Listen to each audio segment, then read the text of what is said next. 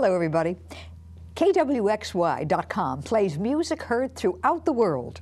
And in the Coachella Valley, it has been, uh, I won't say voted, but it won the ratings to be the area's number one AM station, with the ratings going right through the roof. One of the reasons for the station's long standing popularity is a program called Don's On. The Grammy winner plays the Grammy winners. So, who is Don Zahn, and what about the Grammys he won? Well, you're going to meet Don Wardell in just a few seconds, but first, this segment of Conversations with Gloria Greer is brought to you by the Camelot Theaters at 2300 Baristo Road in Palm Springs. And these are the theaters that consistently bring you the top films in contention for Academy Awards, as well as the world's finest art, foreign, independent, and documentary films. Currently playing at the Camelot, The Black Swan, starring Natalie Portman, Oscar frontrunner for Best Actress and recent Golden Globe and Screen Actors Guild Best Actress winner. Also at the Camelot this week, I Love You, Philip Morris, and Another Year. And there's always fine food in the Camelot Cafe and cool, delicious drinks upstairs in the picturesque Cinnabar with tasty appetizers to add to your enjoyment. Okay, Don Wardell is host of Don's On, and he is a Grammy winner. Here's his Grammy. I never held a Grammy before. He is a Grammy winner. Um, well, we'll talk about it for what he won the Grammy. But so, let's go back to your years at RCA, how you won this Grammy, and I know you've been nominated since. Uh-huh. Okay, can we start there? And then I want to go Oh, back to the war and oh, your start on. BBC. Thank you for inviting me to join you. It's it's so nice to. Thank you. We meet on the run all the time. That's and now, correct. Now we get to sit and talk. And I listen to you. I drive a lot, and you're on in my car Thank you. frequently. Well, RCA, uh, it's the second oldest record company in America. The oldest is Columbia. Uh, RCA, of course, is the home of Nipper the dog. Uh, uh, it, it's just it's just a, a backbone of music. Yeah. And there was in the in the archives at RCA. Uh, uh, Masters by Tommy Dorsey and Frank Sinatra. They worked together. Sinatra was the vocalist with the band from 40 to 42. And there were 53 songs uh, in the archive. And they'd never been put together before, so uh, three of us did this Ethel Gabriel, Alan Dell, and I. And it won in 1982 as the best historical album. How marvelous. That must have been a great thrill. And I, I don't know, maybe we should show it even again because this is the Grammy that you won. Yes. And you mentioned that the Grammys have changed. They've changed now. The horn is bigger. Yeah. The horn is more more upright. The bass is now a, a black kind of Lalique plastic. And if you send your old Grammy in, they'll send you a new one. But I like this. I'm attached to this. I don't blame you. And of course, it's the one you won. So Yes. were you very excited?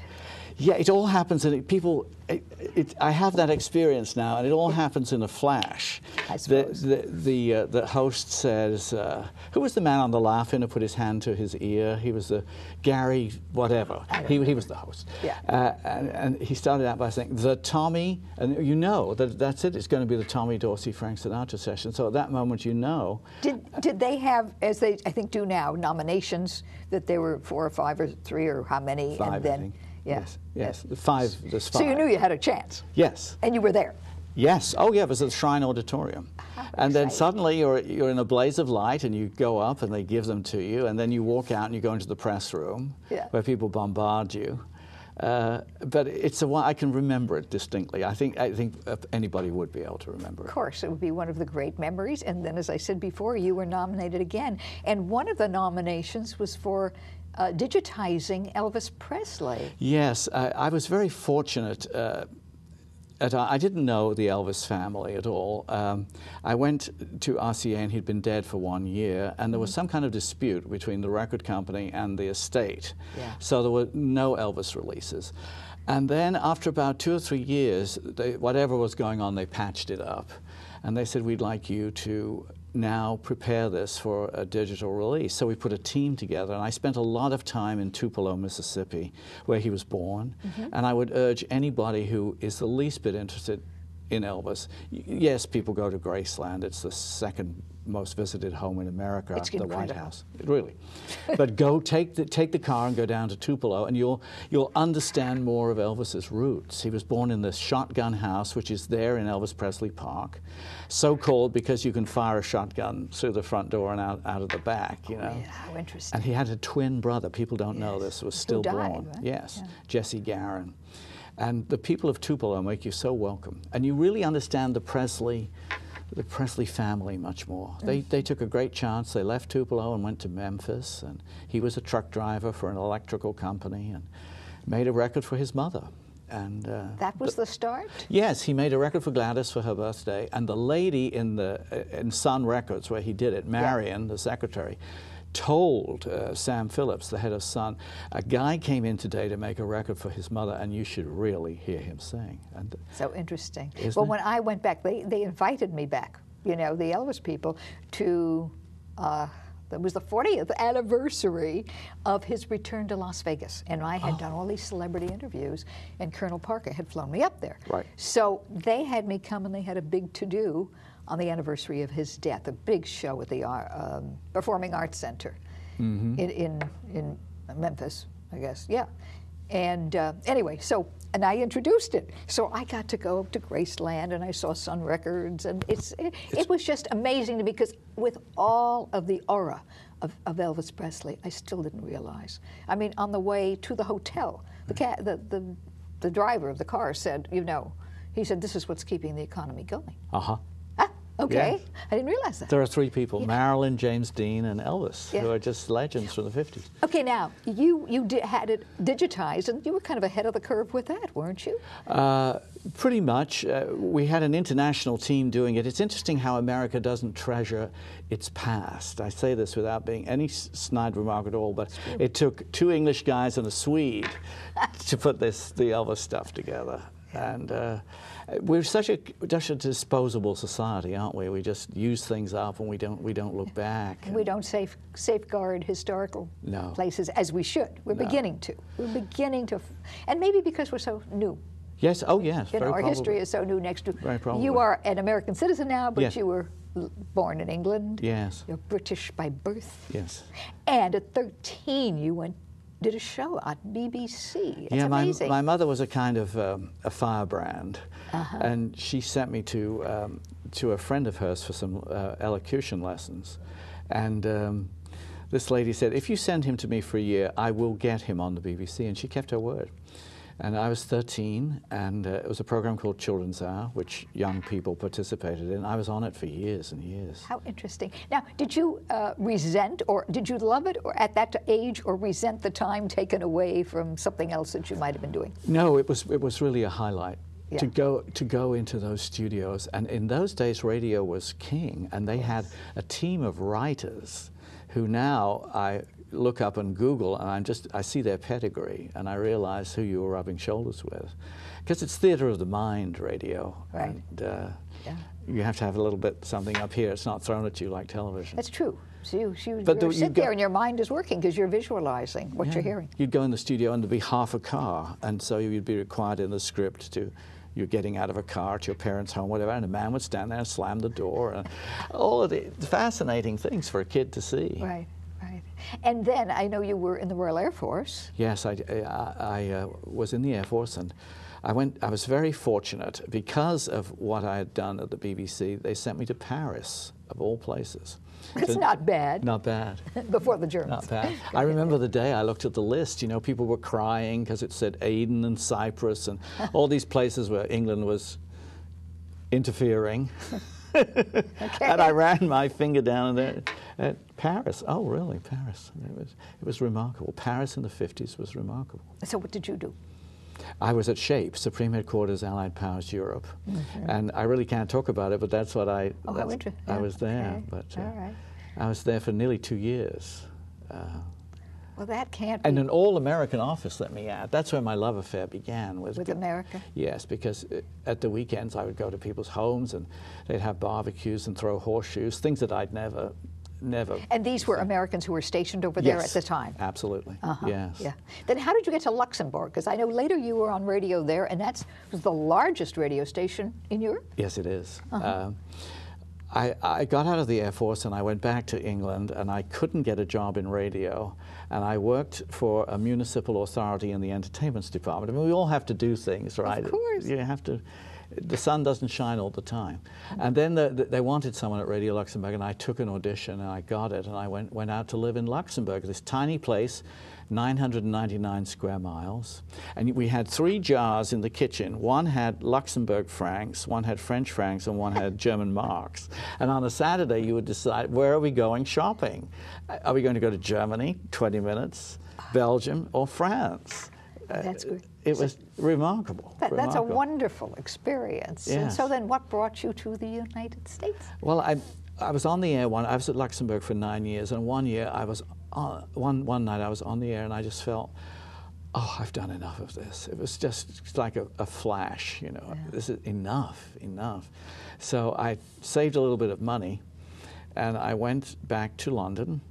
And a friend of mine said to me, uh, her name was Sally. She said, um, "You have to meet Teddles," and I didn't know who Teddles was. She said, "You have, you have to." So she gave this dinner party, and Teddles came, and Teddles was Sir Edward Lewis, Ted Lewis. Oh, for heaven's sake. Yeah, and he was either her godfather or what, whatever, whatever. And he said to me after the dinner, "Come and see me at Decca tomorrow." And uh, that's how I joined the Decca Record Company. And then he sent me to America. And so you started with Decca before RCA. Yeah, exactly. Yes. Now, Decca was also a tremendously Yeah. big recording company, but of course doesn't exist, does it anymore? Well, it, the catalog exists and the Yeah. label exists, but the whole, you know there used to be 820 people at RCA Records when I when I was there. Fascinating people, people who had been around at the birth of stereo and television and what have you. And now there's about 40 people run the whole thing. yeah, and what, what actually are they doing with all this downloading and everything? Do you know? I mean, what happens to these record companies now? Just re-releases? Uh, well, no, some are active. Some are active, but the profits aren't there because at one time the record companies called all the shots. And Of course. if you were on Columbia and, you know, you sold a lot of records. But uh, they have a lesser role. And also, it's kind of good for talent because talent can express themselves through Mm-hmm. YouTube or whatever. Well, Jack Jones was recently on this show, and he was so funny because he said, you know, today, he said, you produce your own. You produce your own recordings. And he said, probably, he said, so if you're, if you're producing and the producer or the owner of the company has to nominate you for uh, Yes. a Grammy, he said, I guess I have to nominate myself. I guess you do. And he said, if I win, I might have to make the Grammy. Oh, of course, he oh, I don't kidding, I don't think so. I think no, it's got of course not. But, uh, but, it- but you know, that's Jack. I mean, RCA Victor, we had our own chef. I mean, this was high living. You- there's no need to go out in the snow. Yeah. You call down, and when are you coming to the dining room, and what did you want? I mean, that's inconceivable today, isn't it, that you would Oh, yeah. have certainly. a chef on Now, who were you working with? What artists when you were there? At, oh, well, mostly Jefferson Airplane, who became the star chef, and Mr. Mister, and Kenny Rogers, and Diana Ross, some pretty, you know, luminary people. And Tim Rice and Andrew Lloyd Webber had a wonderful show in London called Chess. And we Yes, I did, we did a whole thing for that. It was a complete variety of, of. I love being around variety rather than just rock and roll or middle of the road or whatever categories you, you all the categories have changed now anyway but i think it's so great in a big record company you get to play and be with all kinds of people But you know, talking about chess, that's how Elaine Paige, Yes. first lady of the London Yes. Theatre, or Yeah. she was musical theatre, and she started with chess. yes you did Um, you play, as I was telling you before we went on the air, all I have to do is turn on the radio or on my computer, KWXY. I know right away when I hear the music that it's you. do you really Oh, absolutely, because of the uh, selections that you select to play. And uh, so, even though you were with Jefferson Airplane, those people, you seem to have a great, great, great love of what we refer to now as the Great American Songbook. absolutely Sinatra, Ella Fitzgerald. yes peggy lee Yeah, yeah. shearing And I can't leave out because you do play him a lot, Fred Astaire. Oh, I do. I, Fred Astaire had an, uh, made an extraordinary contribution. I, all the great people, the composers of the Great American Songbook, they all wrote for Astaire. The Gershwins and Cole Porter and Berlin, and they liked the way he delivered their songs. He's not an incredible singer, but he, No. what they liked was he didn't bring extra, uh, any extra filigree to this. Right. He, he sang it as they wrote it, and that's what they enjoyed about Yeah. him. We're going to return to you in just a Oh. few seconds, but first, let's have these messages. Uh, uh, now, you, it is always announced that this, the music that you play is not necessarily from the archives of KWXY, but it's actually from your own collection. Yes, I've been fortunate. Um, this started at uh, before KWXY changed hands. That uh, the uh, the then owner, Glenn Barnett, let me play my own material at the weekends. Yeah. and everything in the week is. Well, you were on only Saturday and Sunday That's afternoons. correct, that's and then it went to AM, and, and the Supples own it, and all of a sudden you're on every day, which I love. Thank you very much. Lucky. Thank you. I wake up every morning and think, okay, is it taped or do I have to go there? So you're not always there when we hear you. no, no. I'm there. I'm there three days a week. Yeah, yeah. Physically. Okay, but so anyway, so it's your collection. Then Yes. do you bring it in and plan ahead what you're going Yes, to play? Yes, exactly. Yes. You don't leave it there under lock somewhere. Uh, well, some of it's there in the studio. Uh, Mm-hmm. We trust people, and people have not touched it. We've been there a year, and it's been fine. But uh, So how big is your collection? probably, the answer is I don't know. But if you asked me to guess, I'd say eight or nine hundred CDs, I would, something like that. Yeah. And did you have them all converted to CD? I'm sure you started with albums. Uh, I yes. Uh, fortunately, as the years have gone by, the record companies have opened their vaults. A lot of that material is available again. So Yeah. some of it I had transferred privately, Mm-hmm. but uh, the majority of it I, I, I got as the years went by. Well, I, you know, there are those that say that the albums, the original, is a lot clearer, better quality. There's the a sound. Uh-huh, warmth, Gloria, to the albums. Um, it's, it's technically known as analog sound, and it was created by running tape over tape heads through warm tubes. You know, that's how it's created. And digital is very brittle, very brittle. You've only got to go to the Mary Pickford, and the curtains open, and that trailer comes on, and you're pushed back into your seat by that digital sound. Uh, analog is much warmer. Much warmer, and I can understand some people prefer it. Well, we were discussing going to the classics, Caruso. Okay. And my mother had Caruso recordings, which of course I inherited and have. He launched the record business. How interesting. Yeah, it was on the back of RCA Victor. Certainly, it was on the back of Caruso. That is very interesting, which just shows you how the world has changed.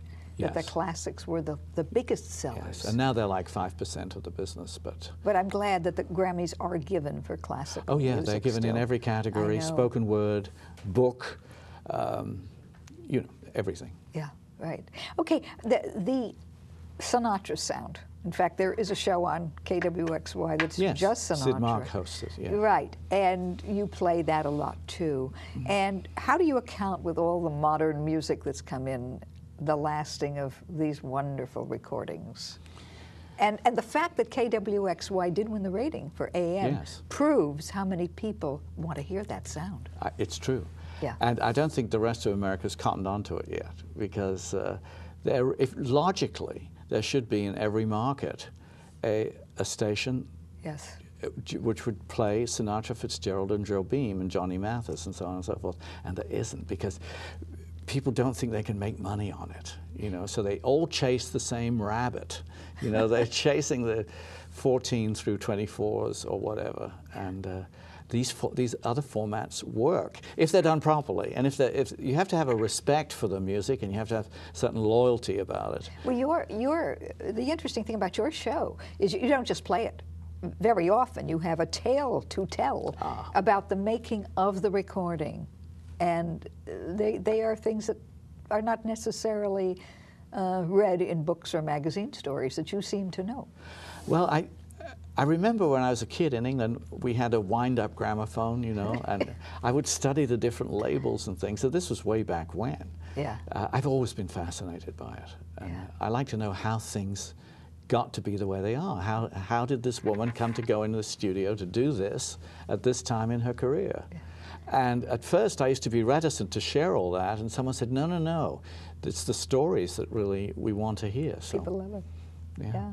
Okay, well, I, I'm glad we got to talk to you Oh, because um, Don's on.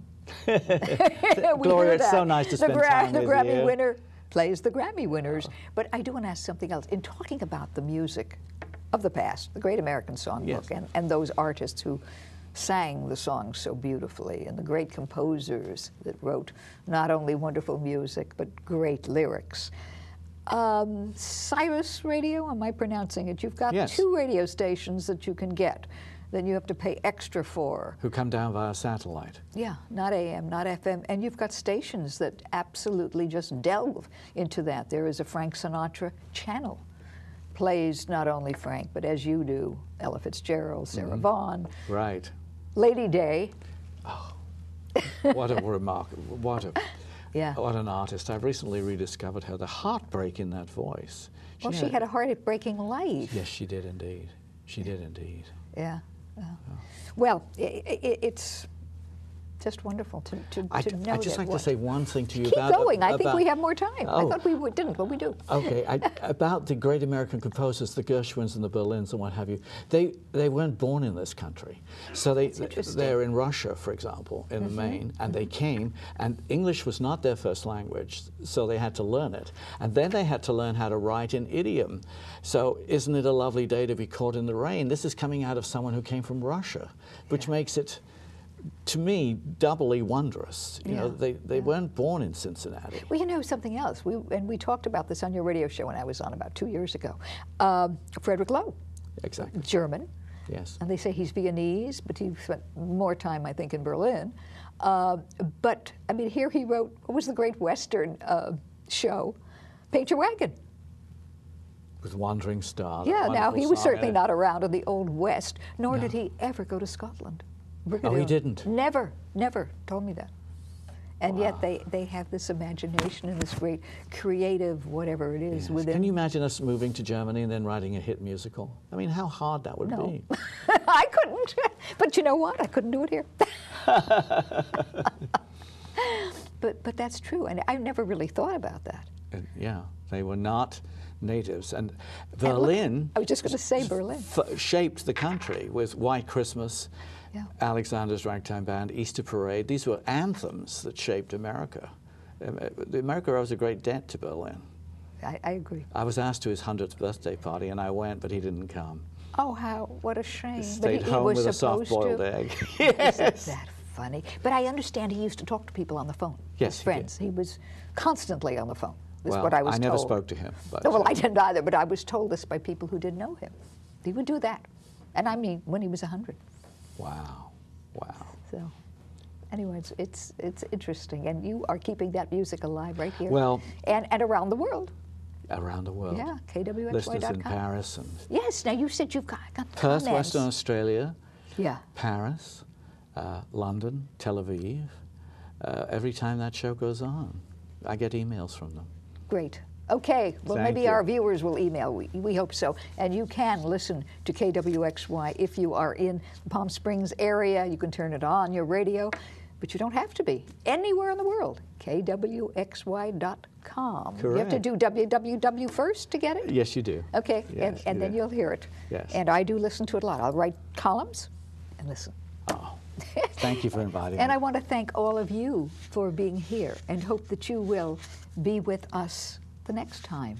And you can follow this show eh, and tell your friends if they've missed it that they can watch us on demand, your local station, your local Time Warner on demand, and then you can see it any day, anytime, 24 7, as they say, morning, afternoon, night, 3 in the morning if you are moved to do so.